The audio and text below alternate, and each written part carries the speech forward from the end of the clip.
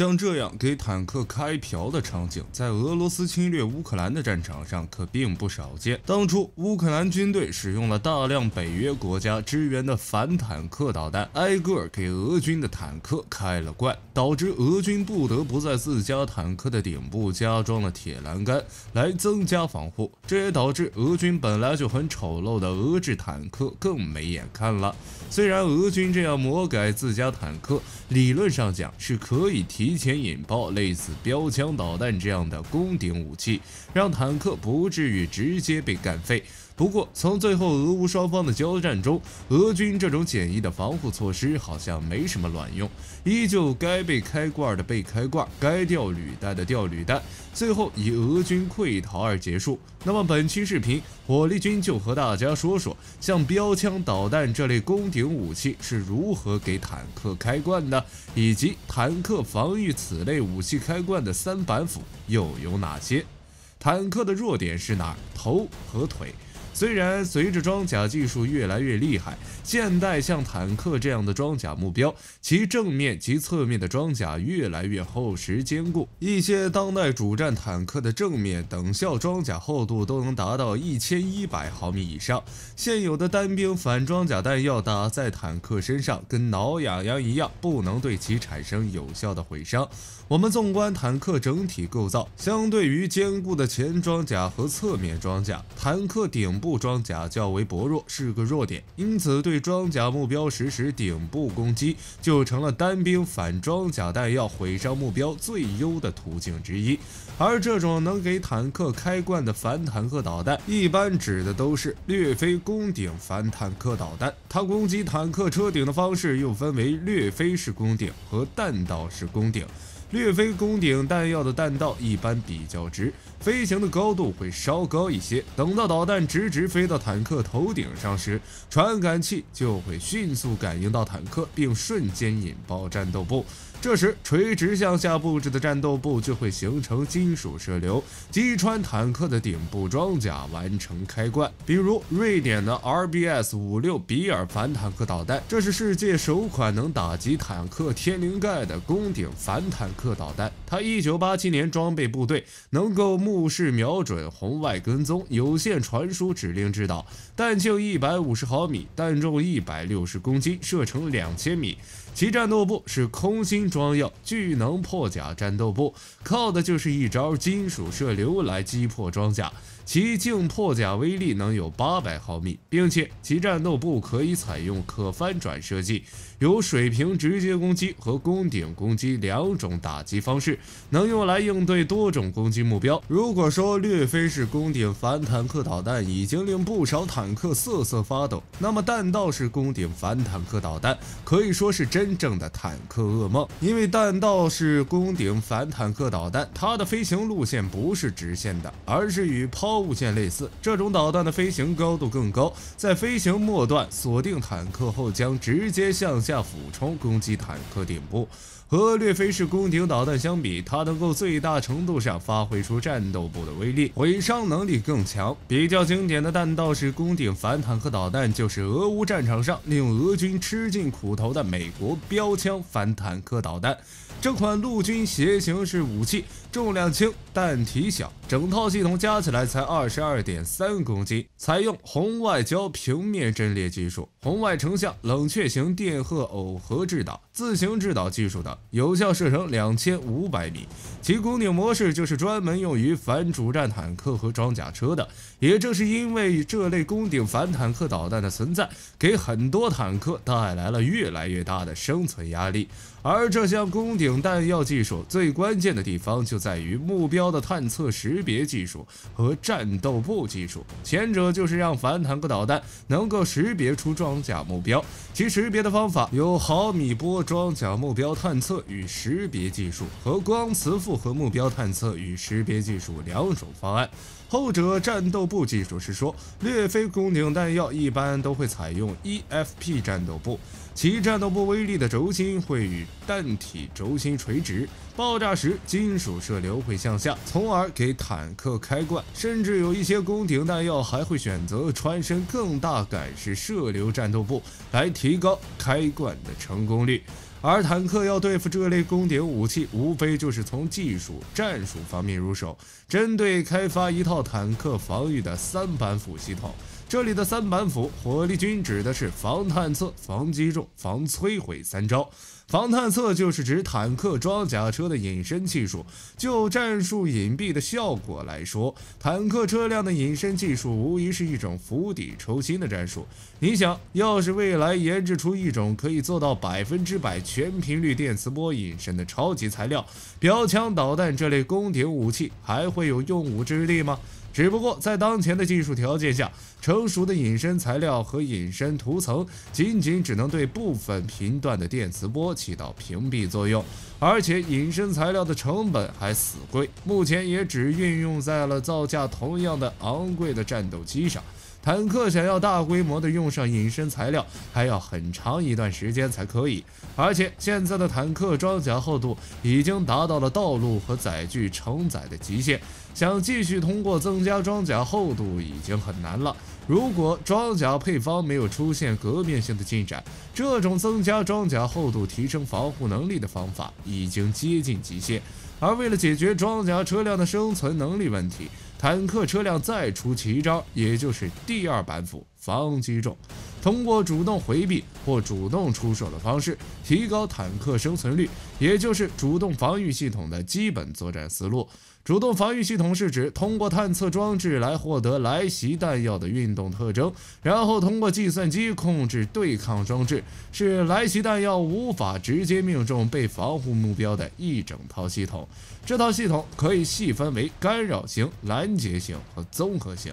干扰型就是坦克采取释放烟雾弹、抛射干扰诱骗弹等方式，使来袭弹药无法直接命中。拦截型和综合型，它俩是由探测装置、计算机处理控制装置和对抗装置三部分成，分别对应获取来袭弹药信息、计算出发射拦截弹药的时机和弹药种类。以及发射拦截弹药，比如在对付标枪反坦克导弹时，从标枪导弹两千五百米的有效射程上看，这个距离放在现代战争中可以说并不远。所以，我们可以用战场上常见的步兵单兵武器，或是坦克身上的榴弹炮，对标枪导弹进行回击。如果是在城市中的巷战，我们可以采取空投炸弹的方式进行定点清除，直接从根儿上进行销毁。而如果巷战中只有坦克、装甲车这类武器，那么就可以选择推进方式，硬扛去清理。像美军的粗齿距无人履带车，不仅任何地形使用，而且还能使用自身携带的机枪和榴弹炮消灭敌人的有生力量。主动防御系统是要根据对来袭弹药的处理方式划分，可以分成迷惑、干扰弹药的软杀伤防御系统和可破坏、摧毁弹药的硬杀伤系统。标枪采用红外制导技术，射程较近，俯冲攻顶模式飞行时间较长。因为针对标枪这类反坦克武器的原理，坦克的软杀伤防御系统便可以通过告警接收器。红外线诱饵干扰器、激光干扰等措施，对来袭导弹进行诱骗干扰，使导弹在飞行过程中丢失目标。比如，其中的告警接收器就是一种威胁检测的报警装置，像以色列的梅卡瓦坦克、意大利的公羊、法国的 AMX 步兵战车等都有装备。这种装置可响应红外线连续光谱照射、激光测距仪和激光指示器的脉冲光谱辐射，且能够与烟幕弹发射器进行联合工作。就是说，当告警器检测到敌人的激光照射或是红外线照射时，果断投出烟幕弹，建立烟幕屏障，从而阻断敌方武器的瞄准线，从而提高坦克生存几率。这一系统对第二代反坦克导弹装备激光测距仪的反坦克炮等武器有较好的反制作用。在软杀伤的主动防御系统中，名气最大的是俄罗斯的窗帘主动防御系统。这名字火力军听得真别扭。这套系统同时加装了激光告警接收器和红外诱饵干扰装置，对半主动式的激光制导，如美国的标枪导弹和瞄准线半自动制导的弹药，如美国的陶氏系列反坦克导弹，均能起到预警和防御作用。当然，也只是降低反坦克导弹的命中率，并不能百分百拦截。像 T 九零就安装有这套系统，当时红眼时说明系统正在工作。窗帘系统的告警器在探测到微型目标后，数秒内就会在坦克五十到七十米范围内形成遮蔽坦克身躯的烟幕，屏蔽激光瞄准。而该系统的诱饵信标灯可在遭受导弹或制导炸弹攻击时开启，从而致使来袭导弹失灵。按照俄罗斯自己公布的数据，说该系统可减少每陶式反坦克导弹命中概率约三到五倍。软杀伤主动防御系统算是软刀子割肉，一点点的消灭敌人的反坦克武器。虽然强，但是该系统的弱点也比较明显。首先就是技术难度较大，当今世界上真正装备了软杀伤系统的部队没几个。其次是该系统只能针对已有的制导武器，多少有点被动。最后，该系统功率和重量都很大，严重限制了坦克的机动性和续航能力。因此，纯靠软杀伤系统去防护坦克是不行的，还需要结合实际作战中的隐身技术和接下来。的硬杀伤系统相互结合，共同发挥作用。刚才火力军提出了隐身大法和软杀伤防御系统，大家估计也看出了这俩走的都是被动防守的思路。要是当来袭的反坦克弹药成功追踪到了坦克，且逃过了软杀伤系统的干扰后，此时的坦克已避无可避，又该如何？这时就轮到第三板斧硬杀伤主动系统出场了。硬杀伤指的是坦克以主动探测的方式发现并摧毁敌人的弹药。一般来说，硬杀伤系统至少有要四个部分组成：探测系统、控制解算系统、火力系统以及弹药系统。整个过程大概是这样的：当探测到有弹药来袭后，探测系统会迅速对弹药进行跟踪，并获取弹药的各类信息，将其提供给控制系统。控制系统在高速计算出来袭弹药的到达时间以及拦截最佳点时，将火力系统调如待发状态。